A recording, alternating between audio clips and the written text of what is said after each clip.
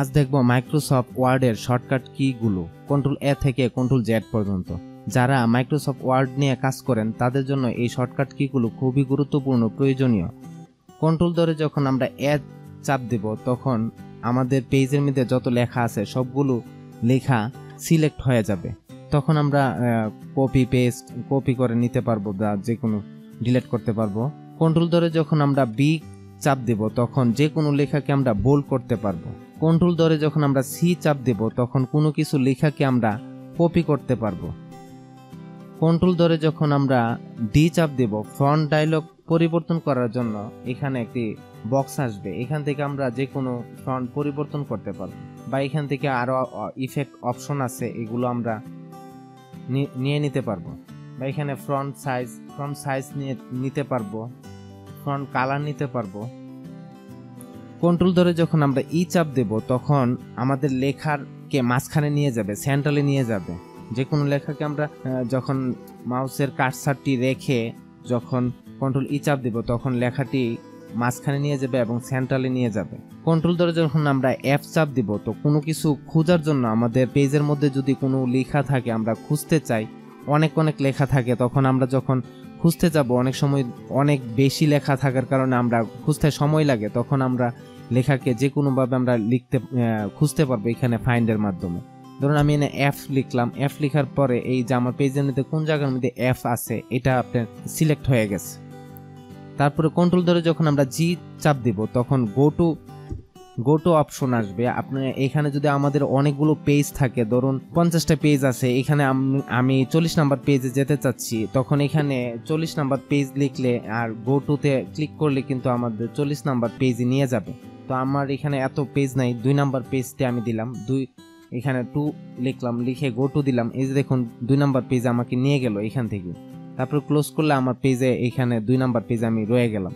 এখান থেকে আমি দেখে নিতে পারব আমার পেজটিকে। কন্ট্রোল ধরে যখন আমরা এই চাপ দেব,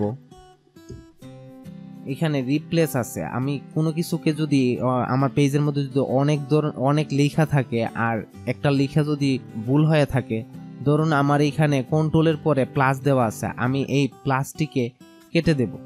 ধরুন এখানে আমি প্লাস লিখলাম, লিখে এখানে ফাইন দিলাম। দেখুন সিলেক্ট হয়ে গেল প্লাস এখন আমি এখানে মাইনাস দিয়ে দিলাম। মাইনাস দিয়ে রিপ্লেস অল দিয়ে দিলাম। এখন প্লাসগুলো সবগুলো মাইনাস হয়ে গেল। এভাবে করে আমাদের সবগুলো একটা একটা করে চেঞ্জ না করে এখান থেকে রিপ্লেস করে নিতে পারব।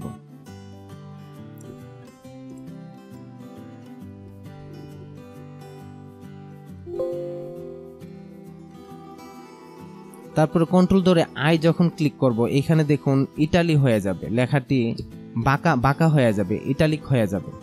তারপরে কন্ট্রোল ধরে যখন আমরা যে চাপ দেব জাস্টিফাই হয়ে যাবে। আমাদের লেখাগুলো অনেকগুলো লেখা থাকলে তখন বোঝানো যাবে। এই যে দেখুন এখানে লেখাটি জাস্টিফাই করা নাই। এখন আমি যদি কন্ট্রোল ধরে জেড চাপ দিই যে চাপ দিই, তাহলে কিন্তু আপনার লেখাটি জাস্টিফাই হয়ে গেল, সুন্দর হয়ে গেল। তারপরে কন্ট্রোল ধরে যখন আমরা কে চাপ দেব, এখানে হাইপার লিঙ্ক তৈরি হবে। ধরুন আমি এখানে কন্ট্রোল ধরে কে চাপ দিলাম। এখন আমার একটি লিঙ্ক আনলাম অনলাইন থেকে একটি লিঙ্ক আনলাম, এখানে এনে পেস্ট করে দিলাম, দিয়ে এখানে উপরে যে ডিসপ্লে টেক্সট টু ডিসপ্লে এখানে যদি আমি লিঙ্কের নামটি দিয়ে দিই, ধরুন আমি এম এস ওয়ার্ড দিয়ে দিলাম আর একটি লিঙ্ক নিয়ে আসলাম এম এস ওয়ার্ডের এখানে লিঙ্কটি ভিতরে রয়ে যাবে, কিন্তু এম এস ওয়ার্ড কথাটি উপরে রয়ে যাবে। এরকম লিঙ্ক তৈরি করা যাবে। তারপরে কন্ট্রোল ধরে যখন আমরা এল চাপ দেব, লেখাগুলো লেফটে চলে যাবে।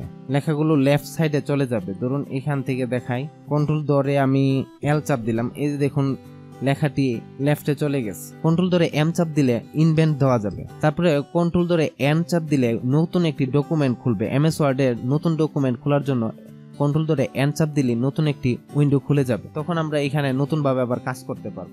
তারপরে কন্ট্রোল ধরে উ যখন চাপ দেব, তখন আমাদের যদি কোনো এমএস ওয়ার্ড ফাইল থাকে, আমরা যদি ওপেন করতে চাই এখান থেকে সরাসরি, তখন আমরা উ চাপ দিলে কোনখানে ফাইলটি আছে এখান থেকে আমরা সরাসরি ওপেন করতে পারব।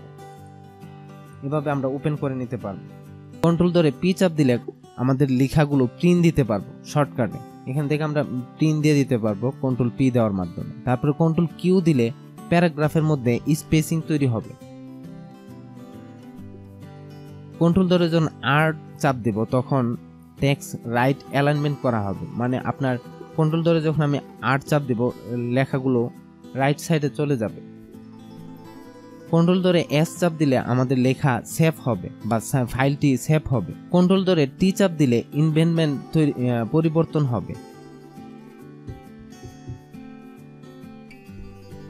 কন্ট্রোল ধরে যখন আমরা ইউ চাপ দিব, তখন আমাদের কোনো লেখাকে সিলেক্ট করে কন্ট্রোল ধরে ইউ চাপ দিলে লেখার নিচে আন্ডারলাইন মতো তৈরি হয়ে যাবে, একটি দাগ তৈরি হয়ে যাবে। কন্ট্রোল ধরে যখন আমরা বি চাপ দিব, কোনো কিছু লেখাকে আমরা যখন কন্ট্রোল সি দিয়ে কপি করি, তখন কন্ট্রোল বি দিয়ে পেস্ট করা যায়। ধরুন আমি এটাকে কপি করলাম, করে এখানে নিচে কন্ট্রোল বি দিলাম, এখানে পেস্ট হয়ে গেল।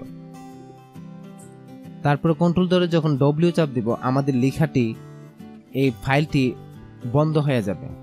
বন্ধ চাচ্ছে, আমি যেহেতু সেভ দিলে সেভে বন্ধ হবে ডোন্ট সেভ দিলে ডোন্ট সেভে বন্ধ হবে।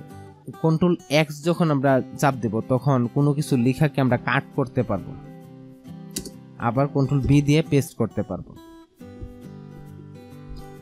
কন্ট্রোল ওয়াই যখন চাপ দেব, তখন রিপিট করার জন্য মানে কোনো লেখাকে যখন আমরা আন্ডু করি, কম রিডু রিডু করা যাবে আর কি। কন্ট্রোল জেড যখন চাপ দেব, তখন আমাদের এই লেখাটি যদি আমি কেটে দেই, তখন কন্ট্রোল জেড দিলে এটা আবার ফিরে আসবে। আবার যখন আমরা কন্ট্রোল ওয়াই দেব, তখন আবার আগের অবস্থায় ফিরে যাবে। এভাবে আমরা কন্ট্রোল ধরে এ থেকে জেড পর্যন্ত আমরা কমান্ডের মাধ্যমে কাজ করতে পারি। তো ভিডিওটি ভালো লাগলে লাইক কমেন্ট শেয়ার এবং আমাদের চ্যানেলটিকে সাবস্ক্রাইব করুন। আল্লাহ হাফেজ।